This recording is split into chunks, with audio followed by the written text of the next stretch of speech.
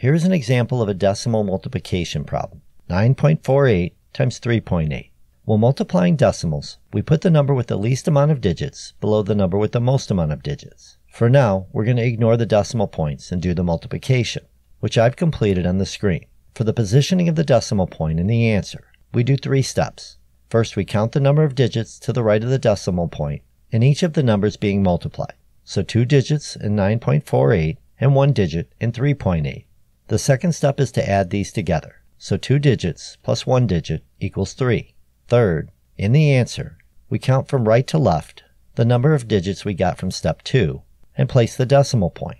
So in our answer of 36,024, we go over three places, which is between the 6 and the 0, and we place the decimal point. And here are a couple more examples on the screen for you.